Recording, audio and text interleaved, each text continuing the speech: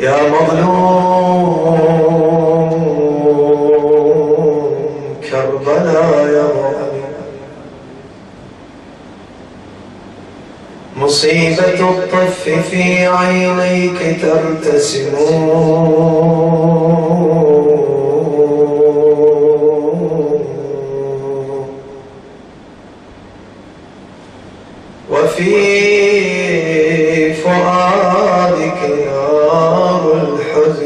مضطرمون أم البنين رعاك الله صابرة لما أصابك وهو الحادث الضخم.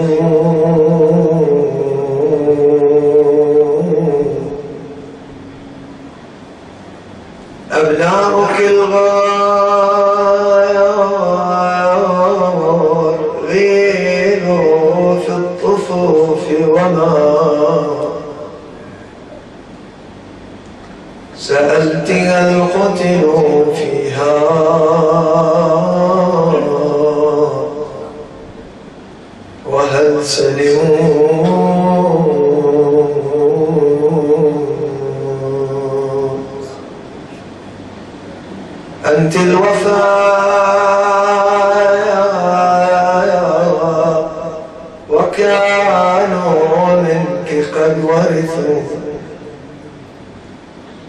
أجلى معاني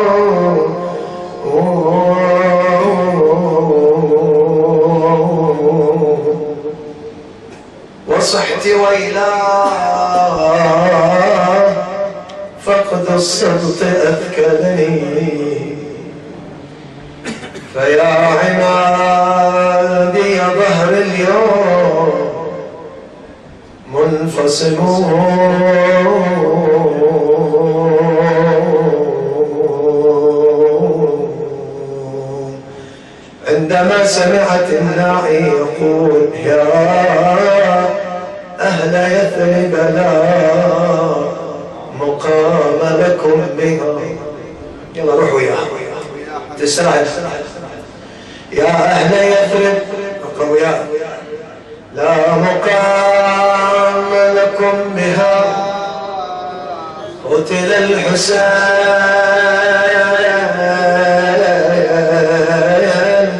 أيوا حسين. قتل الحسين.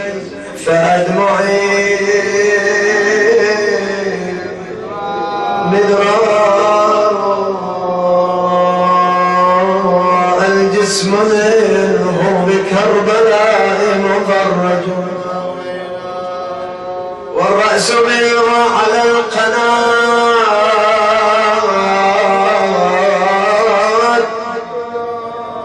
يدار أسمع بنادي والخلق تقرع الصبر شو عندك ولا سعيد العرب أسمع بنادي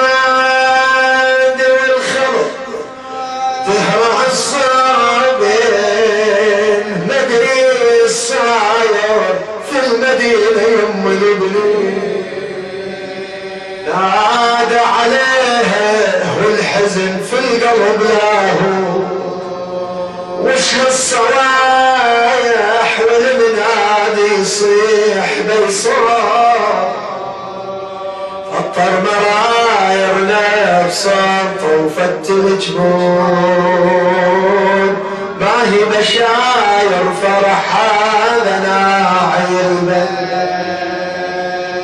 ويلي طلعت بدهشة مروعة والقلب مفتوح. سمعت الضجة والصوايح. لا تقعد جامدها.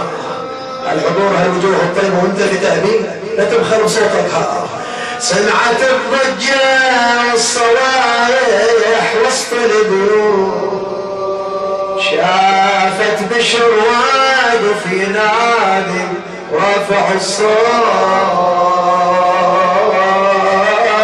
يا أهل المدينة نصبر الماتم على حسين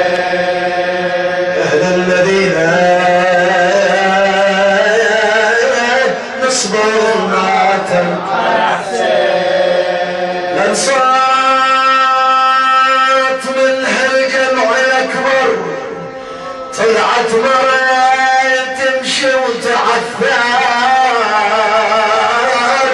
صاحت يا ناعش هالخبر.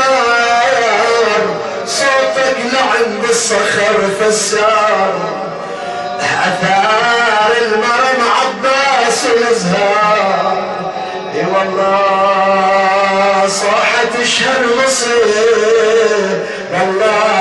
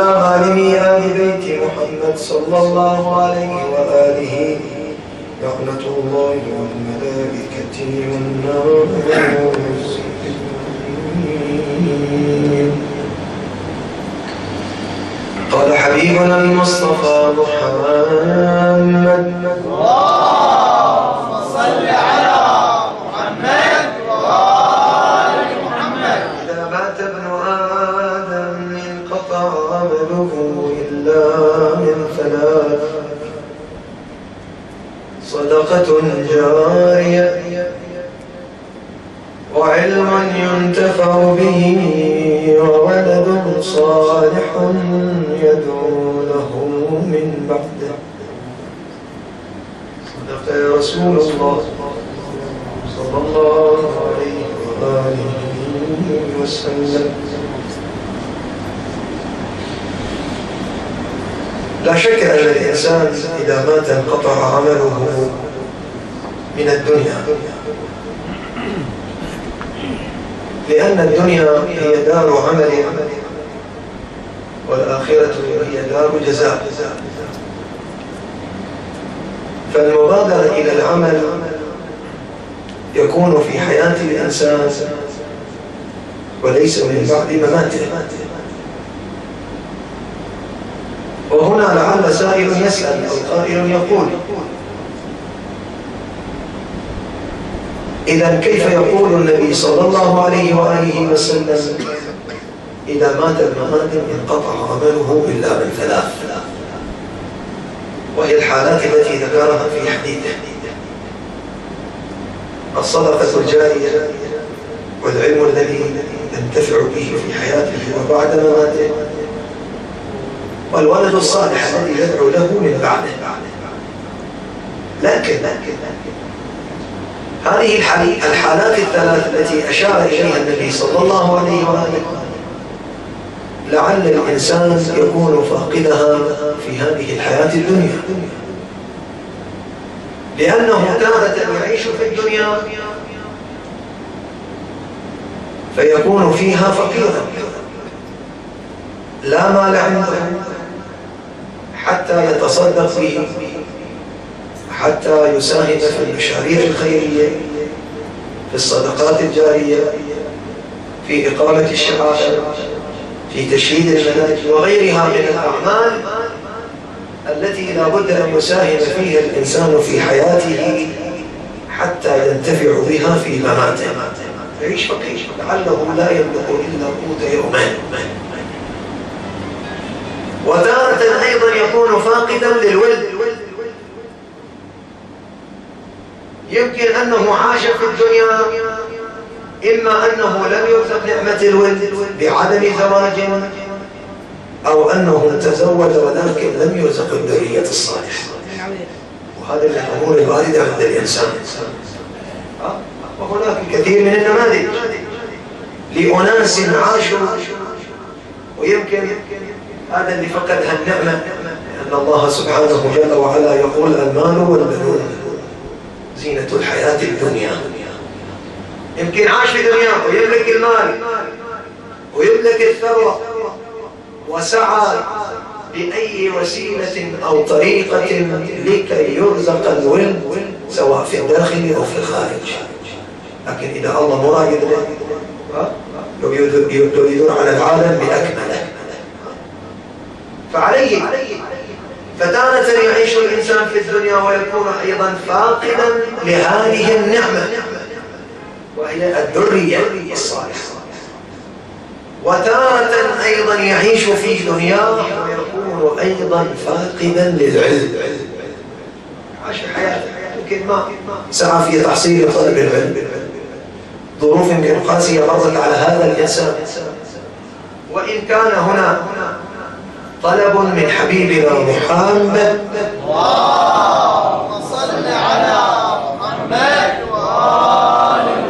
وحث في تحصيل العلم عندما يقول صلى الله عليه وآله وسلم طلب العلم فريضة. على كل مسلم ومسلمة. وهنا طلب العلم الذي يشير إليه النبي صلى الله عليه وآله.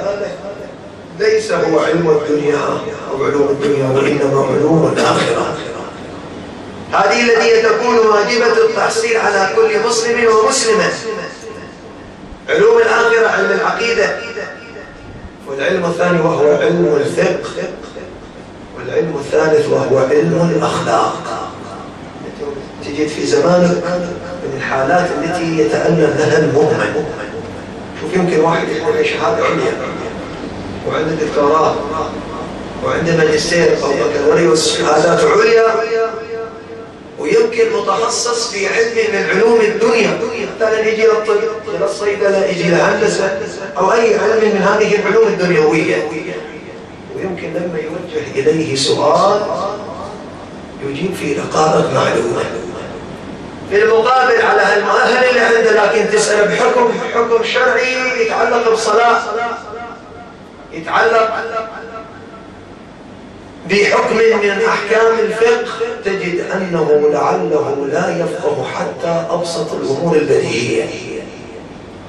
يمكن يقول لي بين الشاب بين الثلاث والاربع شو يسوي؟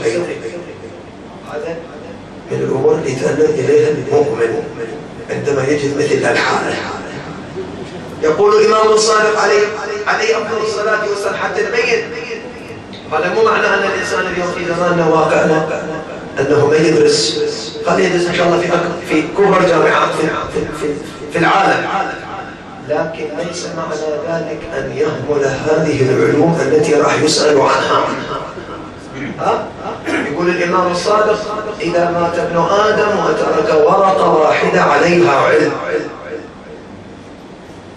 يقول هذه الورقة كانت حاجزا بينه وبين نار جهنم. وإشارة إلى تحصيل علوم الآخرة وعلوم الدنيا.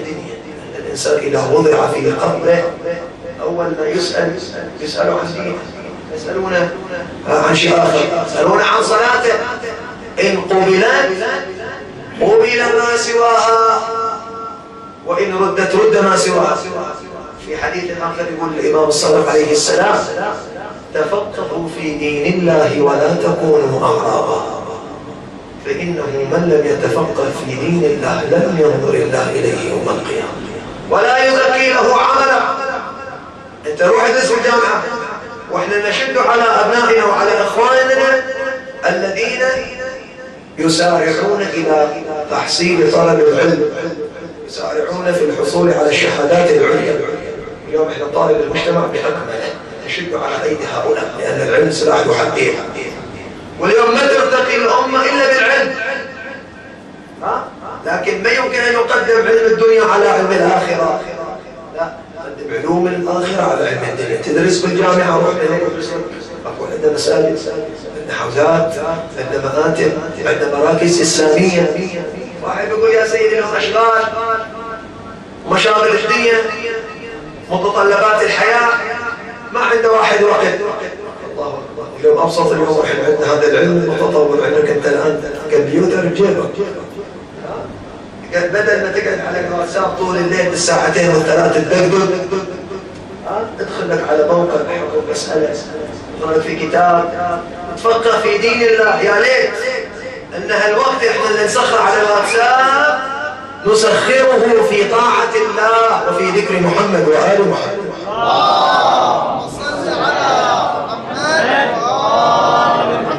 هذا الإنسان ما عنده حجة اليوم في زماننا وواقعنا واحد يقول ماكو علماء ماكو اليوم أدوات يستطيع الإنسان أن يصل بها إلى أي مسألة؟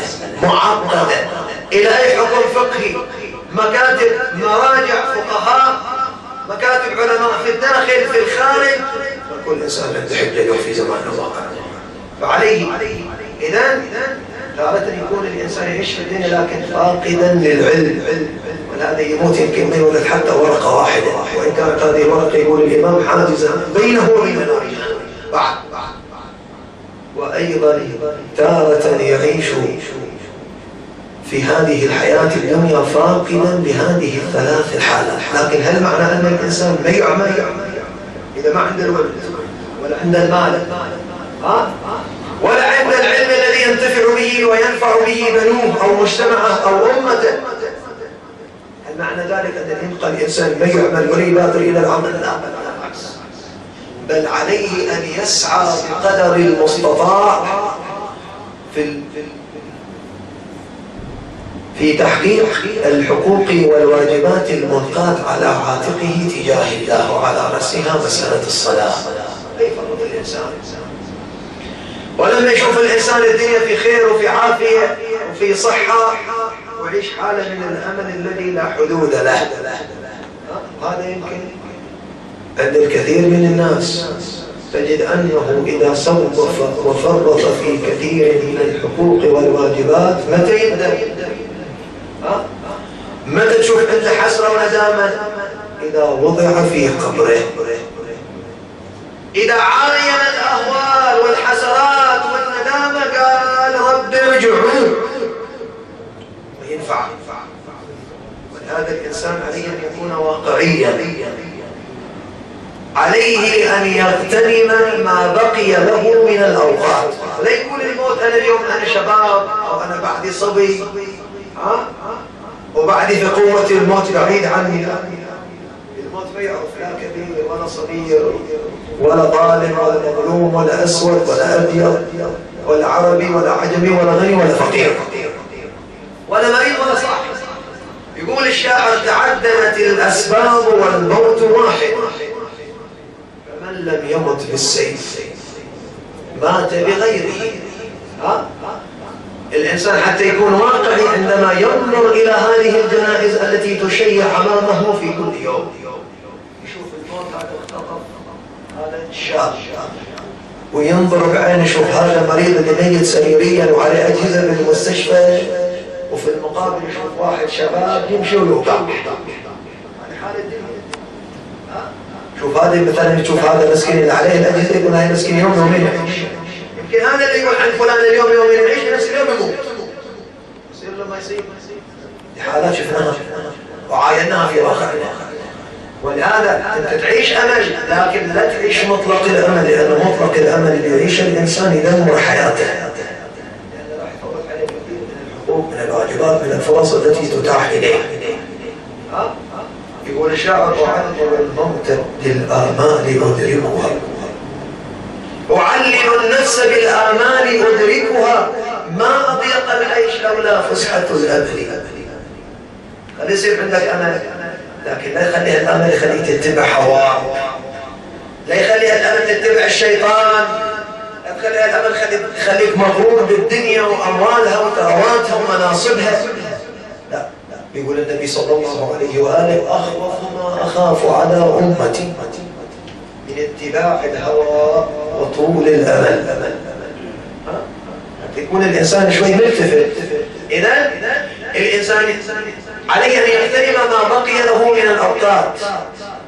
وعليه أن يستدرك ما فات ويوجه بصره إلى آخرته فإنها أعود عليه من نظره إلى دنياه.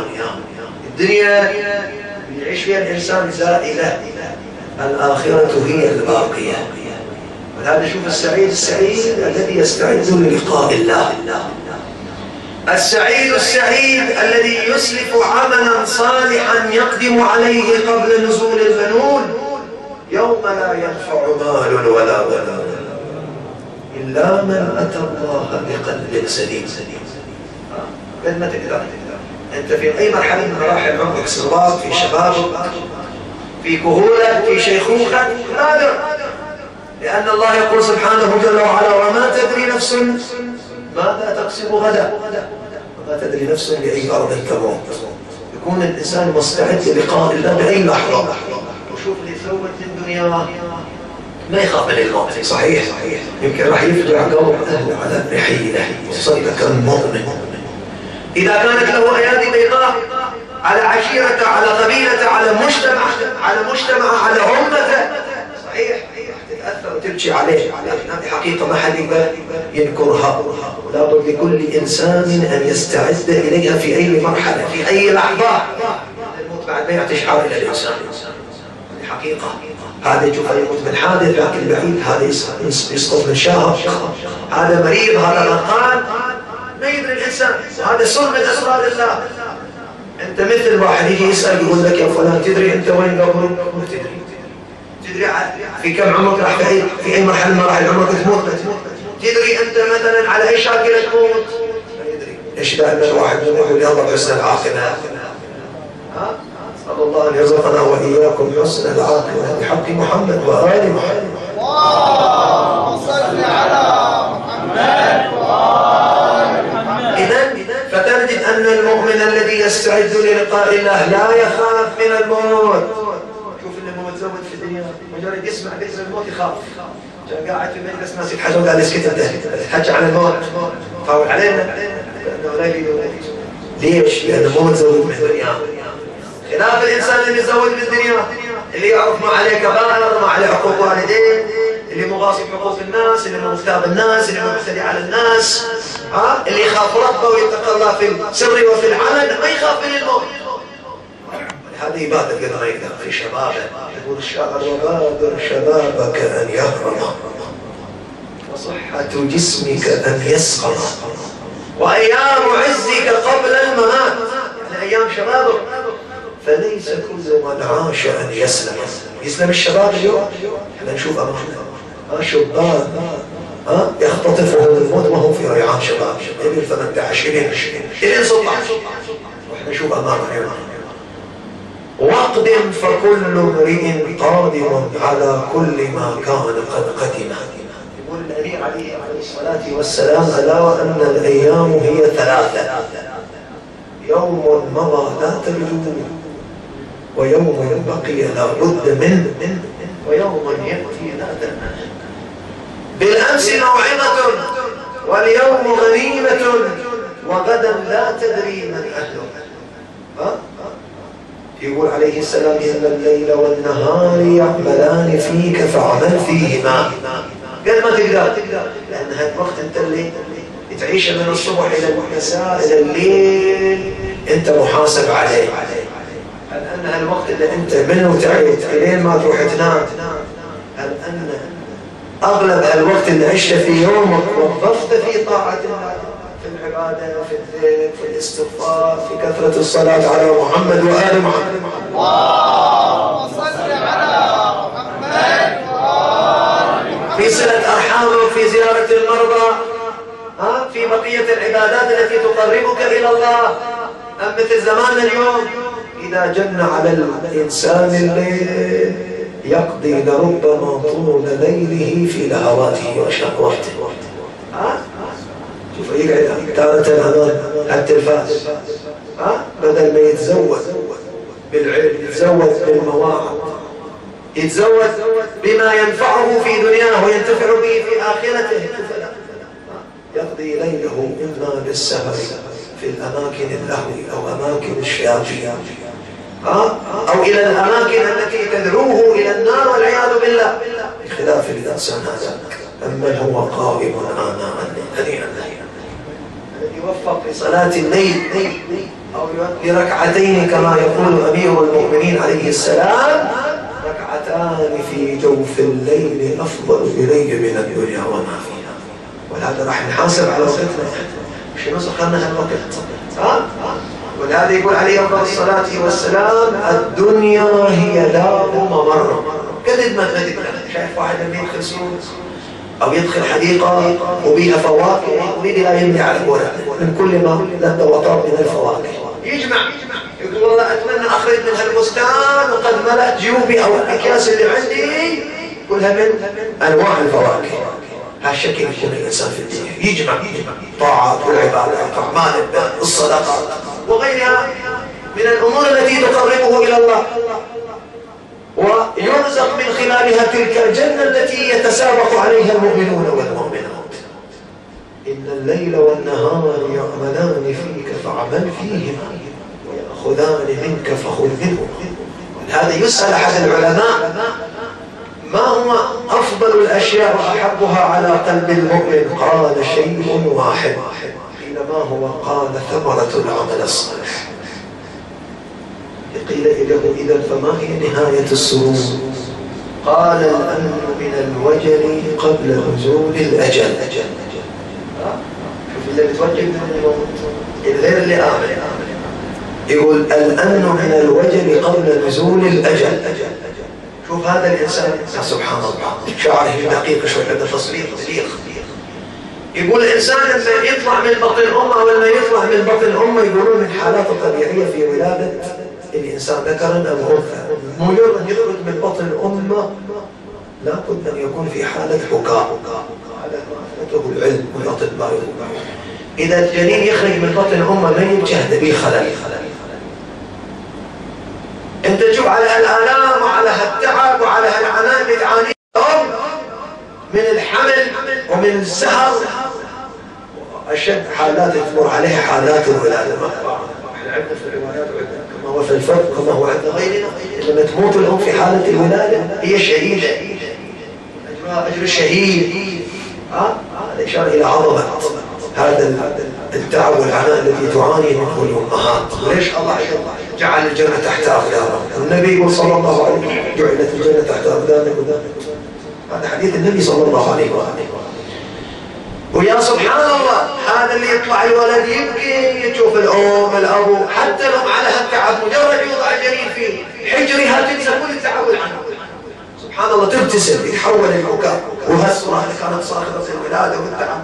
آه ولا تشوف على الموت وتشوف الأحباب الاخوة كلهم في فرح وسرور يقولون بهذا المولد لكن الصورة تتعكس هذا لما يطلع من الدنيا ونفسه مطمئنة. وعنده تتزوج من دنياه ما ينتفع به في آخرته وكانت عاقبة عاقبة حسنة. تشوف القريب والبعيد والكبير والصغير يبكي عليه. إذا كان عزيز مؤمن ولما كان في قلوب أهله وعشيرته ومنطقته قبيلته ها؟ تشوف هذا الإنسان يترك أثر كبير على قلوب الكبير والصغير. يعني يقول شاعر ولدتك أمك يا ابن آدم باكيا والناس حولك يضحكون سرورا. فاجهد لنفسك. يعني قد ما تقدر اتعب. الدنيا ما يمكن أن تصل هذا المقام وهالمراتب العليا. ها؟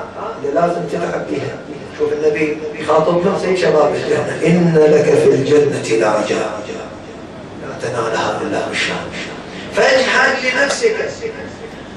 أن تكون إذا بكوا في يوم موتك ضاحكا مسرورا. ميت يسمعنا؟ لكن ما يقدر يجاوبنا. ها؟ الروح اللي ترفرف على جسدها الميت تسمع اللي عليه وتعرف منه هو. يسمع يقول يا ريت أقدر أحكي.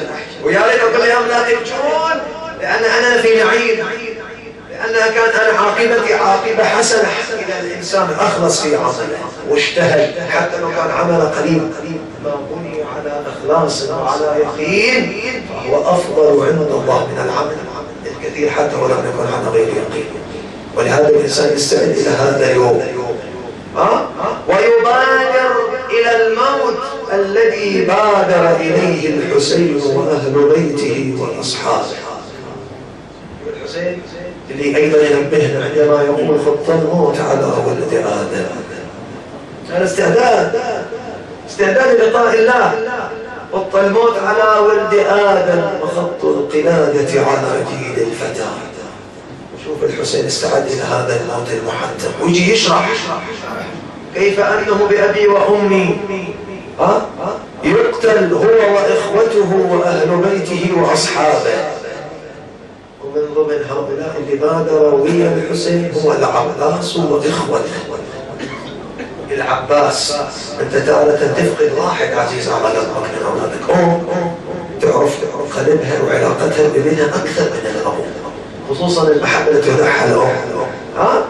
ولهذا شوفوا الأم إذا فقدت واحد من أولادها تشوف هذا هذه الأم وهذا الأب إلى أن يوصل ترى الأم أو الأب لا ينسون هذا الولد إذا كان عزيز على قلوبهم وعلى قلوب أهله وعشيرته ومنطقته.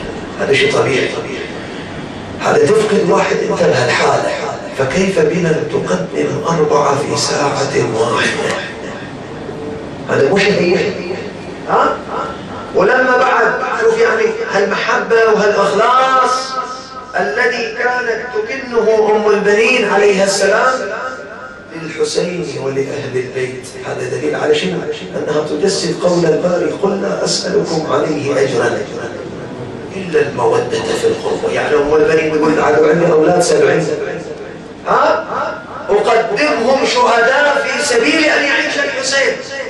بدليل ويش أنت الآن إحنا الآن في ذكرى سقوط الطائرة واللي فقدنا فيها كثير من الأحبة والأعزاء. أنتم الآن أنتم المؤمنين اللي مجتمعين أول ما وصل إليكم الخبر مو كل واحد طلع يركض ويسعى اللي راح المستشفى واللي راح مكان الحادث وراح يسأل عن ذوي قريبة اللي عنده ولد اللي عنده أخو اللي عنده عوب اللي عنده أم ما شكل. لكن ما شفنا مثل ما سوت أم البنين. أم البنين لما جابوا شغل يقول يا أهل يثرب. قلناها في المقدمة لا مقام نقوم بها. قتل الحسين. فأدمعي مدرار عرفت الناس أهل المدينة المكتوم والحسين عادة اللي عوائل اللي قدموا شهداء وضحايا والحسين ما بيجون يسألون عن عن ضحاياهم عن قتلاهم. أول ما إجت يقول بشر بن حدنا. يقول شفت امراه تارة تقوم وتارة تقع. وهي تتعثر بأذيالها يقول يا واحد اثنين قلت من هذه المرأة؟ قال له إنها أم البنين. هذه أم العباس وإخوان عندها أربعة طلعوا ويا الحسين. العباس وعبد الله وجعفر وعثمان. قال حقا لهذه المرأة أن تذهل ليش يا بشر؟ قال لأنها فقدت أربعة كالأقمار الزواهر وشفت أنت لما إجا بشر يعدد عليها مصايب؟ أولادها. كل ما قال لها عظم الله لك الأجر عبد الله. قالت يا هذا ما سألتك عن ولدي. وإنما سألتك عن نور عيني الحسين. ما يعدد لها واحد. يلا روح وياك أنا. قلبك وفكرك لا تقعد جامد حبيبي. أنت فاهم عندك مصيبة. وتتأسف مصيبة من يا أم البنين. يمكن واحد عندنا عائلة فاقدة اثنين ثلاثة أم البنين أربعة. في ساعة واحدة. نتأسف عزاها ونعزي عياها وتستأهل في دمعتنا على الحسين وياها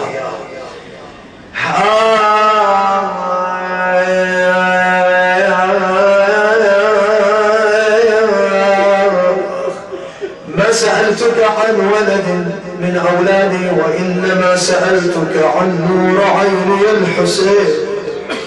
ومو ملتفت لها يقول أنا ما راح أخبر عن الحسين مرة واحدة أخاف توقع تموت يقول جيت هيئها إلى المصيبة. ذكر عبد الله وجعفر وعثمان.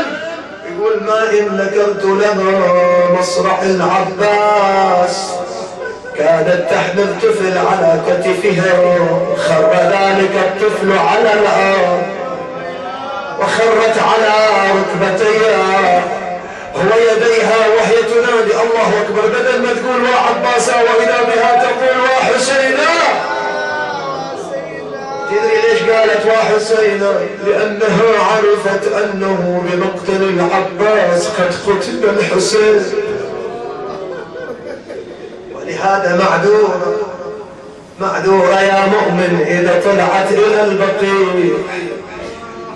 تندب أولادها واحدا تلو الآخر لكن قبل ما تبكي على أولادها تبكي على من يشير تبكي على الحسين تنصب العزاء ثم تبكي على أولادها. إيش عندك يا ملا؟ سعيد العرب يقول أم البنين بكل صباح وكل مسية تنصب على العباس. واخوانه عزية كل يوم تطلع للبقيع وتنصب ظلال. وأهل المدينة تحف بيها حريم ورجال تصرخ بحسرة والدمع بالخد همان وعظم حالي راحت أولاد من اويلي فتلو حزينة شيبت راس المصايب يا حبيبي اريد أريد جواب أقوى شوية ويا أم البريد عين على كلمتها؟ فتلو حزينه شيبت راس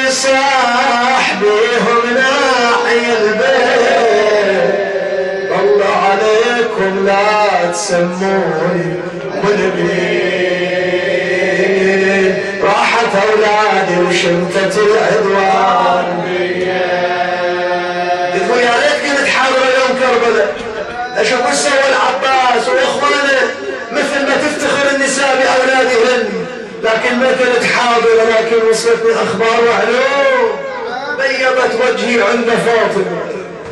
يا ليت عيني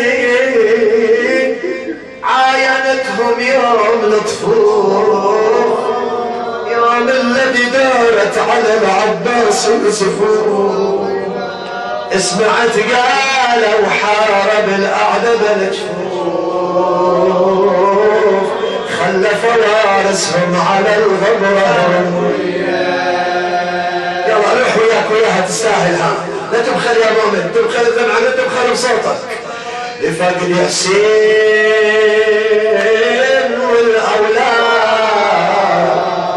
فاتم تسكب العبرة. أجابك لفقد حسين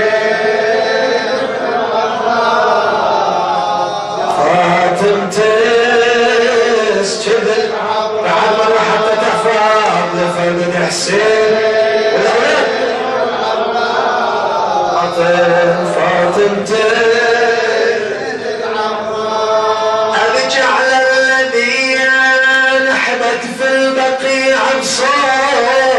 من لك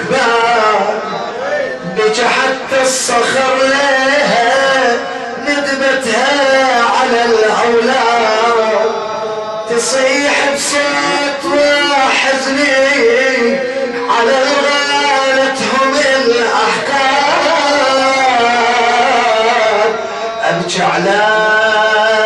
الذي عطاش وما ترد حسرة. حسين لفقد حسين. والأولاد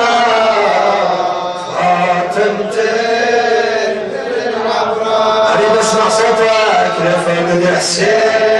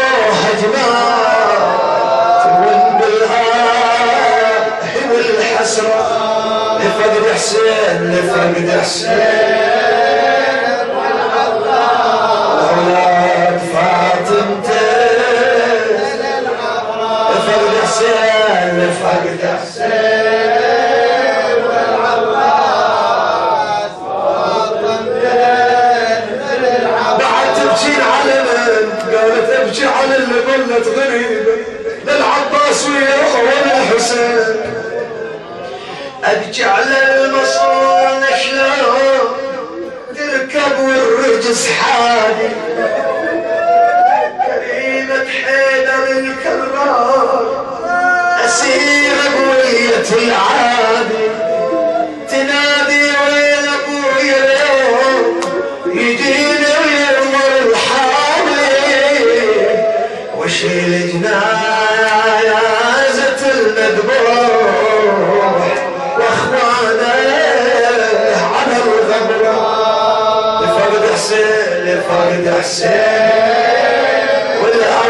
والأولاد فاطمتين بعد بعد قالت على الذي راسه مفضوخ بعمر الصيف سهم العين يا ويلي خسفها والدماء صوبه وجودة تمزق ومحتار وقلبه عند أخوه. والحسين والجفين مقطوعة. ومرمية على الغمرة وعبسة والجفين مرمية لكن أنت مش عندك الله يرحمك يا أبو يوسف قال يقولوا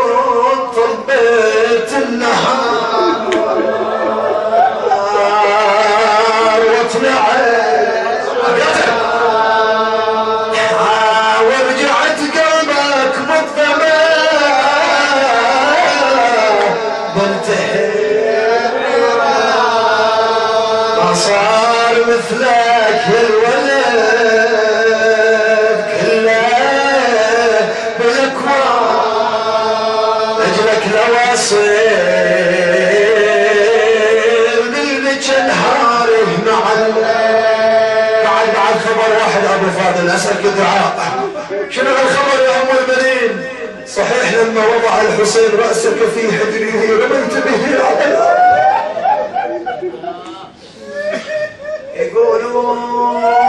يقولون رأسك يوم